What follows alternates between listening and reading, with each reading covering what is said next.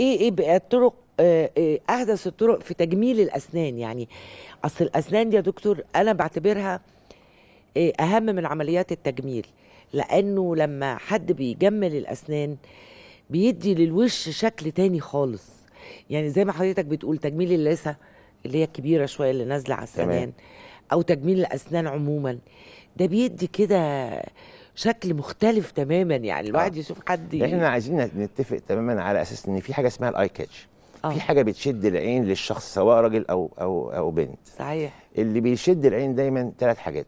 آه. الشعر ولونه العينين ولونها أيوة. الأسنان.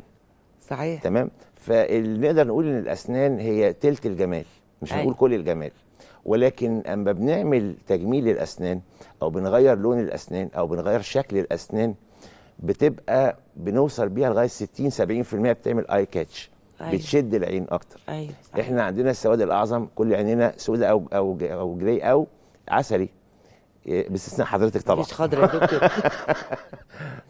ولكن إحنا بنقول ال- اللي بيش العنصر الأساسي بقى الشعر أو البشره أو الأسنان. ده صحيح. فالتجميل الأسنان ده بقى بحر كبير جدا. وبقى ليه جامعات بره أقسام متخصصة في مجال التجميل. يعني جامعة كذا فيها قسم لتجميل الأسنان وده الجديد بره طبعا. أيوه. التجميل ده بقى بيتراوح من بقى من إن أنا عندي سنة شكلها وحش أو مكسورة أو لونها غامق أو أو إلى إن أنا سناني كلها مش مصفوفة. الترتيب بتاعها مش حلو. آه محتاجه عملية تقويم مثلا زي شغل زمان مثلا.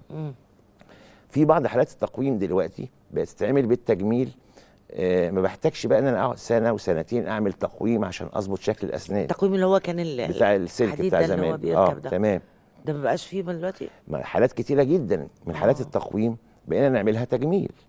النهارده بدل ما أنا استنى سنة وسنتين عشان آه. آه. آخد الشكل النهائي اللي أنا عايزه صحيح. بقيت آخد في أسبوع واحد الشكل اللي أنا عايزه ناهيكي عن إيه بقى التقويم أنا برتب الأسنان بس لكن ما بغيرش لونها ما بغيرش آه. آه. شكلها آه لكن التجميل بيرتب الأسنان وبيغير اللون وبيغير شكل السنة كمان حتى لو في ضب أو حاجة. بالظبط بالظبط آه، طب والتغيير يعني اللي هو بنسمعه دلوقتي اللي هو آه هوليوود سمايل وال...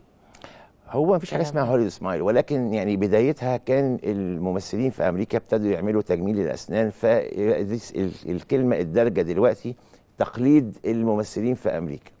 وهي آه، تقدري تقولي حضرتك بقى انتشرت طبعا عندنا في الوطن العربي بصورة كبيرة جدا. وأنا هوريكي على حاجة جديدة جدا مثلا. آه الطبيعي إن أنا باجي السنان نفسها باخد لها مقاسات وأعمل design و plan إن أنا هعمل السنة دي أغير شكلها إزاي.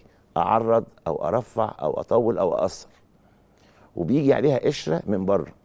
اللي هي ال lenses ال- ال lenses دي آه, آه. تديني الشكل واللون والرسمة اللي أنا عايزها. وإحنا معانا تقرير بالكلام ده هنشوفه سوا. آه. في حاجة جديدة بقى دلوقتي. افرضي حد محتاج حاجة سريعة وعنده مناسبة وعايز يعمل مثلا شكل كويس. تمام. فإحنا هوري حاجة حاجة بسيطة كده. بس إحنا يعني دي حاجة ما هياش دايمه لكن هي بتغير شكل الأسنان في من خلال جلسة واحدة. بيجي ياخد مقاس بعدها بيومين بيجي يستلم الشكل ده بيغير لك لونه وشكل أسنانه للمناسبات. بتتشال وتتحط. يعني يركبها وقت ما هو خارج بتاع بالظبط كده. آه, آه. بالظبط. والجديد منها إن إحنا ممكن بنركبها ويقدر ياكل بيها مثلا لو في مناسبة. آه. واخد بال حضرتك؟ أنا بتكلم عن تجميل الأسنان يعني زي ما أنا عاملة يعني إن ما هو أنا ده دي حاجة غير آه. اللي إحنا هنشوفها سوا بقى دلوقتي في التقرير. طب وريها يا مجدي. آه دي عبارة عن لينسز بتركب على كل سنة لوحدها. أقدر أنظف أسناني بالفلوس أقدر أستخدم الفرشة والمعجون طبيعي أقدر آكل طبيعي أقدر أعيش حياة طبيعية جدا. ودي بتفضل. برضه بندي العيان بتاعها ضمان مدى الحياة عليها. آه. ما ده الجديد إن أنا مش بعملها له مرة وأسيبه.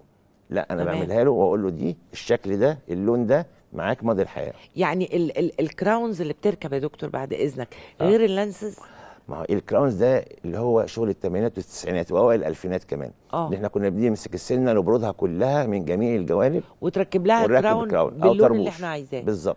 تمام. لا دلوقتي أنا ما ببردش ما بقربش من الأسنان خالص. آه. باجي على الطبقة الخارجية من السنة بخشنها بس. آه. وبنحط عليها الطبقة اللي إحنا اتفقنا عليها غيرنا الشكل غيرنا اللون ونلزقها له مدى الحياة.